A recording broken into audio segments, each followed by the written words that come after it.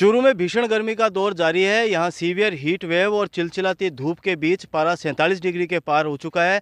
जो रेतीले धोरे हैं, वहाँ हम यहाँ आए हैं चूरू के और हमारे साथ जो प्रोफेसर डॉक्टर जेबी खान है, वो हमारे साथ हैं। जी सर, आज रेतीले धोरों में आए हैं। क्या कहेंगे?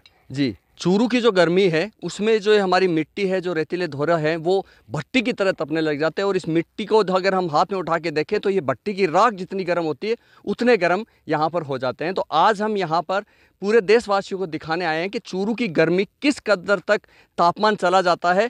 तो हम एक प्रयोग करेंगे, ये जानना चाहेंगे, प्रयास करेंगे कि इस गर्म में, इस भट्टी की तरह तपती मिट्टी में क्या अंडे को अगर हम प्लेट में रखें तो क्या आमलेट बन सकता है? ये प्लेट अभी भी मेरे हाथ में है, इतनी गर्म है कि अगर आप इसको पकड़ो तो पकड़ नहीं पाओगे। इतना गर्म ये हो चुका है और ये अंडा हम प्लेट को रखेंगे। 10 मिनट तक इस प्लेट को मिट्टी में रखेंगे, ये प्लेट इतनी गर्म हो जाएगी और उसके बाद उसमें हम अंडा डालेंगे तो अंडा बीस से पच्चीस मिनट में आमलेट के फॉर्म में कन्वर्ट हो जाएगा। तो हम आपको दिखाएँगे, प्रयास करेंगे कि क्या इस झुलसती गर्मी में अंडा जो है वो आमलेट के रूप में आ सकता है। तो यही प्रयास आज हमारा है।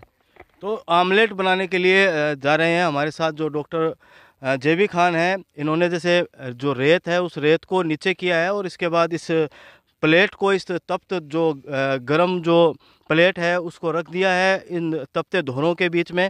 और अब इनसे जानेंगे, सर, कितनी देर तक इसको रखोगे? अगर हम प्लेट को 10 मिनट रखेंगे तो 10 मिनट में ये गर्म हो जाएगी तो 10 से 20 मिनट अगर इस प्लेट को यहाँ छोड़ेंगे तो ये इतनी गर्म हो जाएगी कि ऑमलेट डाल, अंडा डालने के बाद ये ऑमलेट फॉर्म में आ जाएगा और अंडा डाल के भी हम अगले 20 से 25 मिनट इंतज़ार करेंगे और हमें यहाँ से जाना पड़ेगा क्योंकि हम अगर यहाँ खड़े रह गए उस मिट्टी में तो हम खुद ऑमलेट बन जाएँगे। तो जब तक 10 से 15 मिनट का समय निकलता है, हम किसी छाँव वाले स्थान पर जाकर खड़ा होंगे। जी बिल्कुल जो गर्मी है उसको देखा जा सकता है। रेतीले जो धोरे हैं वो इतने तप्त हो चुके हैं कि यहाँ कुछ ही टाइम खड़ा होना भी मुश्किल होता जा रहा है। जूते पहन रखे हैं लेकिन इसके बावजूद भी जो पैरों के तलवे हैं वो काफ़ी गर्म हो रहे हैं और बार बार जो पसीना है वो यहाँ आ रहा है। तो अभी ये जो प्लेट है वो हमने रख दी है और अब देखते हैं कि कितनी देर दस पंद्रह मिनट के बाद में जब प्लेट एकदम गर्म हो जाएगी, उसके बाद यहाँ जो प्रोफेसर डॉक्टर जेबी खान है वो आमलेट बनाएँगे।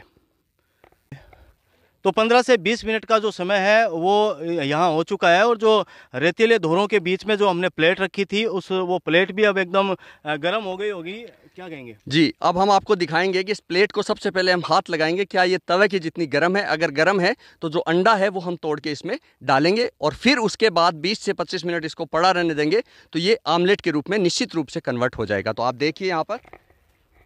तो जो रेतीले धोरे हैं, उनके बीच में जो प्लेट है, वो तवे के रूप में हो चुकी है और काफ़ी गर्म है वो ये प्लेट है और जो डॉक्टर जेबी खान है, वो जो अंडा है, उस अंडे को तोड़ा है इन्होंने और अब इससे जो आमलेट की प्रक्रिया है, वो यहाँ शुरू हो रही है। काफ़ी जो गर्मी है, वो यहाँ देखी जा सकती है, जो रेतीले धोरे हैं, वो काफ़ी गर्म नज़र आ रहे हैं और यहाँ खड़ा होना भी मुश्किल हो रहा है। तो ये जो प्लेट है इस प्लेट के अंदर जो अंडा है वो तोड़ के डाला गया है और गर्मी काफ़ी तेज़ है। जो प्लेट है वो भी एकदम गर्म तवे के मानंद हो चुकी है और अब इस प्लेट को तकरीबन 15 से 20 मिनट के लिए यहाँ छोड़ देंगे और उसके बाद आ, किसी छायादार जगह के अंदर हमें चलना चाहिए। आ, क्या कहेंगे? जी ये हमने अंडा आपको दिखाया है कि अंडा गर्म प्लेट पे डाल दिया है। डालते ही जो तवा होता है उसकी तरह ये गर्म है तो ये धीरे धीरे और ऑमलेट के आकार में आ जाएगी। तब तक हम अपने आप को बचाने के लिए यहाँ पर छाया का स्थान ढूंढकर लगभग 20 मिनट वहाँ पे खड़े रहेंगे और 20 मिनट के बाद हम वापस आके इसका मुआयना करेंगे।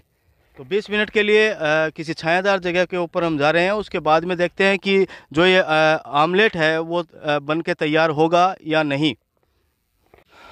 तो तकरीबन 15 से 20 मिनट का जो समय है, वो और गुजर चुका है। जो डॉक्टर जेबी खान है, इनसे जानते हैं सर कितना समय हमें यहाँ गुजर गया है और अब क्या स्थिति रहने वाली है?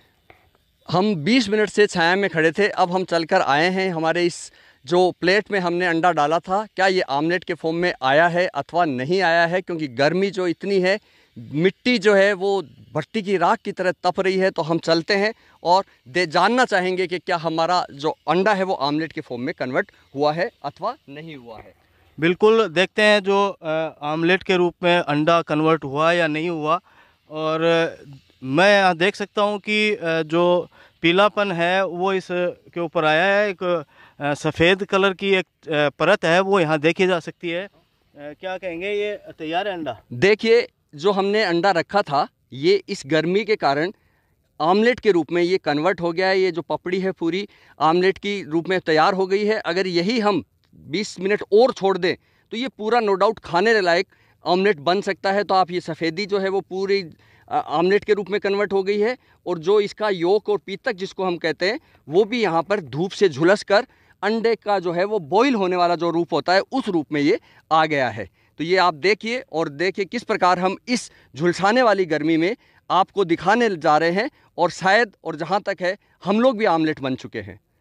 जी, बिल्कुल जो गर्मी है, वो यहाँ देखी जा सकती है और जो रेतीले धोरे हैं, वो राख की मानंद है वो तप रहे हैं और इस गर्मी के अंदर जो आमलेट है, वो बनकर लगभग तैयार हो चुका है और जो सफ़ेदी है, वो साफ़ तौर पर देखी जा जा सकती है। तो ये सफ़ेदी इसका पकना है। यहाँ, जी हाँ जैसे ही जो आप देख रहे हैं, पहले एकदम ट्रांसपेरेंट था ये अंडा, लेकिन अब धूप के कारण ये सफ़ेदी आ गई है, जो बाहर वाला सफ़ेद पार्ट होता है, वो ऑमलेट के रूप में ये कन्वर्ट हो गया है।